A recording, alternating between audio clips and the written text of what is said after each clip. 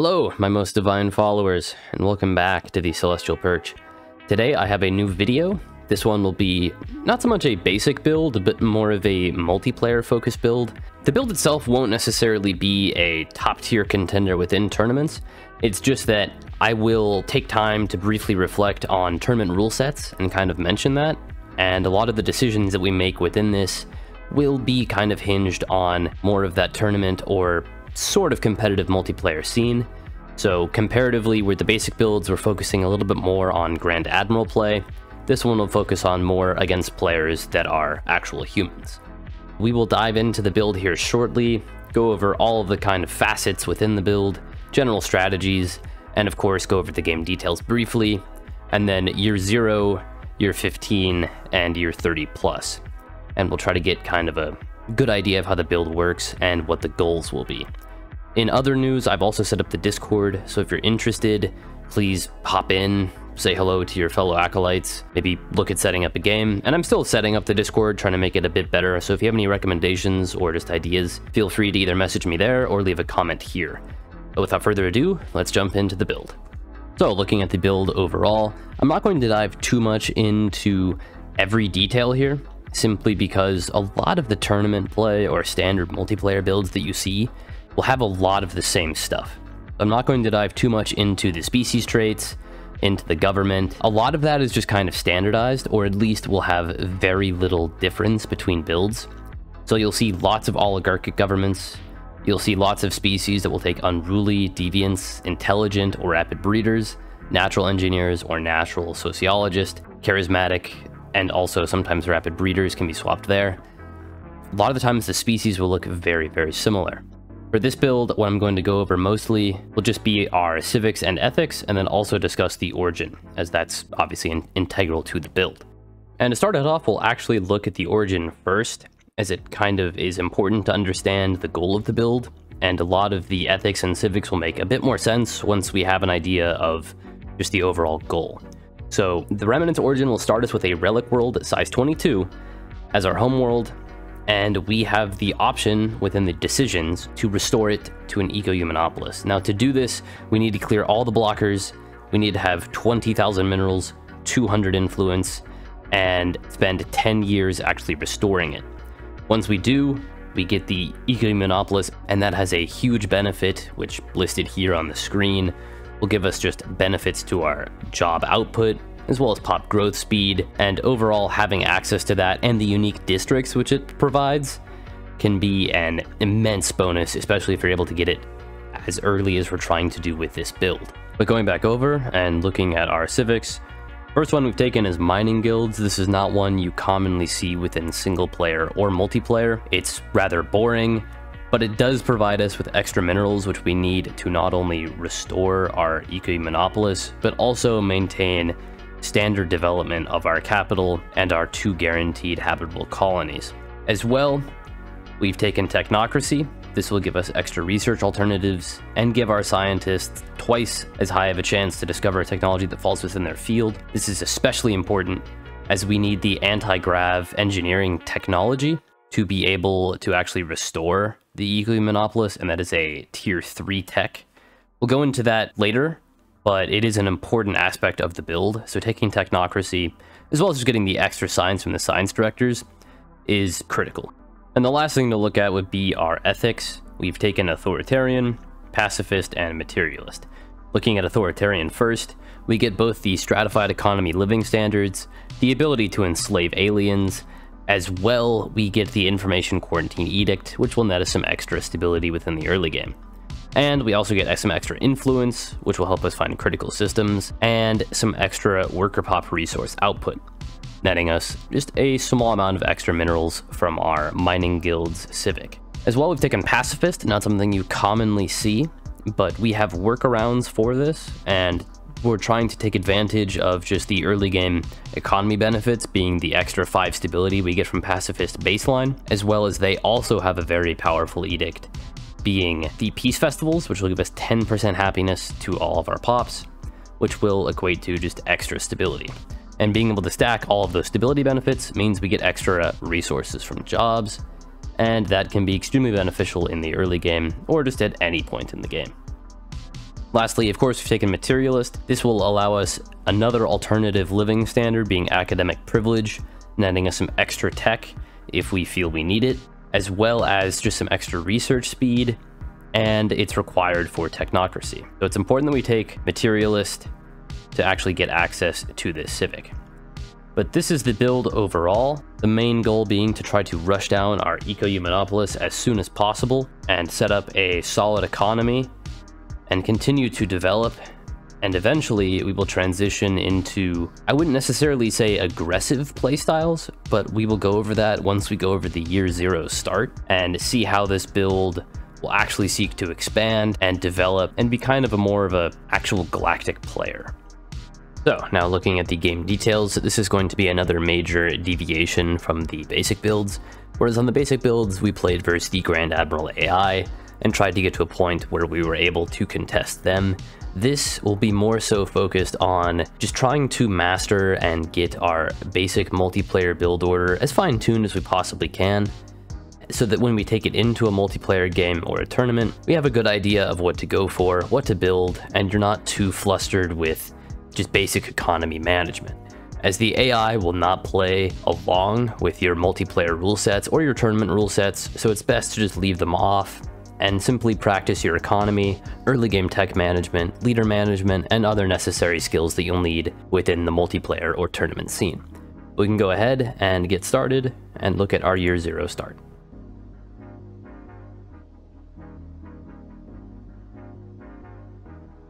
So with any year zero start, let's go ahead, press begin, get a good idea of our starting area, look around, see what we're working with here, and of course, just look at our, or our leader here, pretty solid. Grow economy is nice, architectural sense is great, and home in the sky is fine. Of course, we just want to start with the leader, and then next we'll just go ahead and look at the market. Looking at the market, we want to get a few minerals set up, we can also sell our food and also get some alloys. I up to about 13 and use those to get our colony ships produced. If you start running a deficit, you can of course just change the max buy price to 1 and leave it as is. That will uh, kind of reset it and then allow you to keep it up here so that you can just constantly change between 1 upkeep or no max buy. And that should be it for the market for now. Of course, we'll just see how we're doing once we go back into the actual unpaused, but for now that's fine. For diplomatic stance, this is going to be a bit different, I would say, than most people. I'm going to leave this as is. A lot of people would recommend going to isolationist, and I've recommended going to isolationist before in the past quite a bit. For this and for multiplayer, at least for this build, I'm going to recommend staying in expansionist it's going to save us some alloys and it's going to get our colonies developed just a bit quicker. It's not exactly a, an immensely powerful bonus, it's just saving on alloys is important. And having extra alloys in the early game will mean we can get our colony ships out just that sooner. And we can also save on our actual star bases so that we have extra alloys to upgrade them and build our hydroponics bays. So for now, we'll keep it actually as expansionist but we can still change our economic policy to civilian. And that should be it for now. In terms of edicts, we didn't get charismatic, so for now we will probably just activate either peace festivals or information quarantine. You can mess around with that and see which one benefits you more. Generally, peace festivals might get you one or two more stability out of it, so I would roll with that one. For society management, we're going to want to pick up one point into domination once it's available to get the clear blocker. And then we will pick up discovery and get the opener for discovery as well as the research alternatives. After that, it's up to you to decide how much unity you're going to focus on and how quickly you want to get through these. It also depends on your multiplayer rule set. If the rule set's been pushed out maybe to th year 35 for full-on wars, then you could maybe try to finish out Discovery and save Supremacy for later. If you're worried about your Unity production and maybe you can't balance it, then open Domination, get the research alternative within Discovery, and then finish out Supremacy. But that should be it for that. We will save technology for now and go over that last, as it is the most complex thing here and will take a bit more time to go over. For our leaders, for the governor, we that's very nice. We found an environmental engineer and an intellectual governor. If we can, we'd pick up both of these, but for now, we'll pick up the environmental engineer, and we'll go over in a second. And for our scientists, we found a particles leader, which is pretty good. We also have a material scientist, which will be nice to help us find holographic casts, but for now we actually want to find an industry scientist that will help us get anti-grav engineering, which we need to restore our Ecumenopolis. And speaking of, for the last major thing to go over before we touch on tech, will be our capital world. And as mentioned before, we want the environmental engineer governor, as well as the point in domination, to reduce the cost to clear all of these planetary features, as we will need to clear all of them the industrial wastelands, the sprawling slums, and all of the ruined arcology before we can even consider clearing the Ecumenopolis. Now, upon clearing the ruined ar arcologies, we will also get some relics, which will help us with our economy, as well as it will give us some tier 1 technologies. In terms of our actual development for the capital, I like to start with about two to three mining districts and around maybe mining district 2, we can replace the commercial zones with tech, and then focus on these two building slots with tech as well. And as soon as we're able to get the hydroponics bays, we want to destroy our agricultural districts, re-employ them as miners, and just focus primarily on getting the most out of our miners that we can. As well at the start, we can deprioritize the clerk job so that all of our regular energy, mineral, and food jobs are full.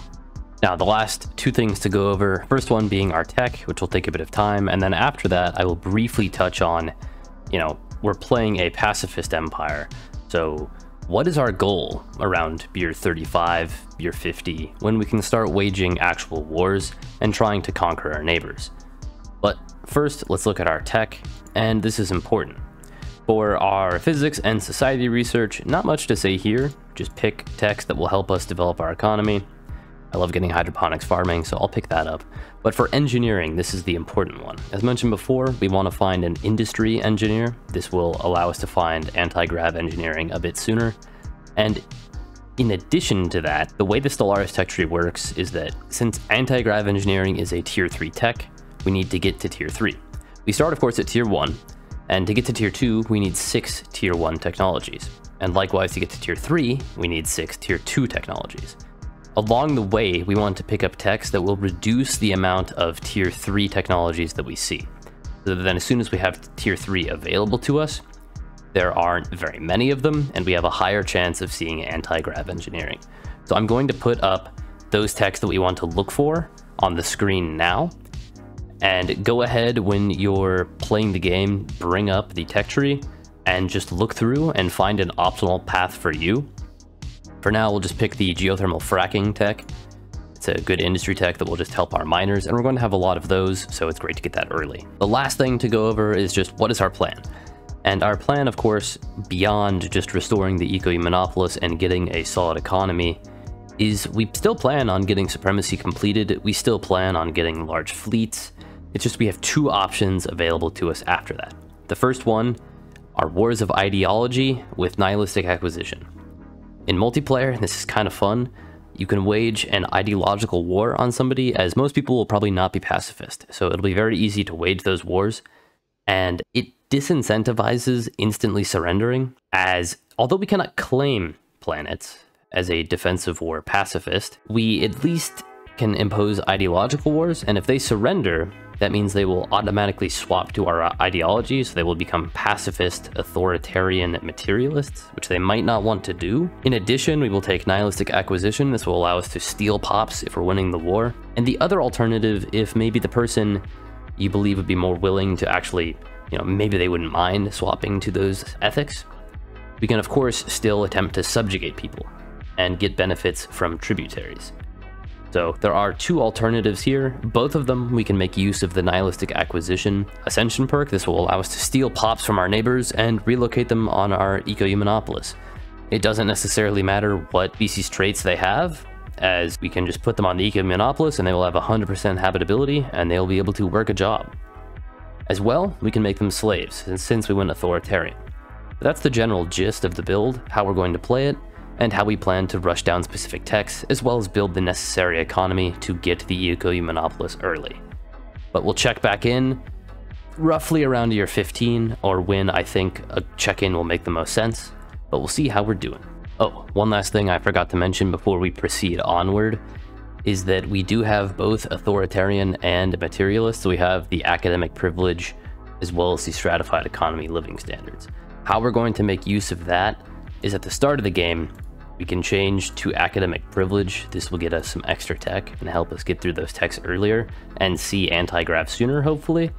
And then as well, as soon as we switch over our economy from civilian to militarized, we can change from academic to stratified, and that will save us a lot of consumer goods and will help reduce that consumer good burden when we switch, as well as keep our militarized economy going a lot longer.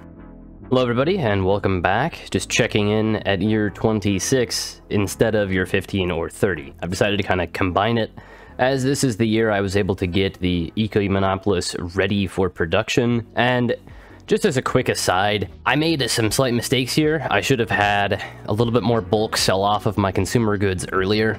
So I could have had this probably more so around year 24 to 25. And that's what you should generally speaking shoot for. So that then it's ready by year 35 for you to start going to war. And just be ready for you in general. When you're stealing pops, you can bring them back to the Eco. But as we see here, with the decision we are able to restore it with the 20,000 minerals. You should easily have 200 influence at this point, and it will just take 10 years. Beyond this, there is one other thing I would like to mention. Our tech is fine. We were able to get, of course, the anti-grav engineering, and then right after you can start picking up other techs that you need like destroyers, starholds, holographic casts, space torpedoes, and start transitioning back into something that will be a fighting force by year 35. Keep in mind that we do not have very many consumer goods. I slightly behind my mineral production, so I had to sell some off. Was around, I think I was around more like 4,000. But generally speaking, my actual recommendation would probably be instead of academic privilege, I really didn't lack too much in tech. I was able to get around 500 by year 26. So we should be able to hit the anti-grav without using the academic privilege, and you actually might just want to, depending on your playstyle and depending on your setup, use stratified instead so that you have a larger stockpile of consumer goods and can hopefully hit somewhere around the 8 to 11,000 range. But beyond that, the rest of the build is pretty simplistic.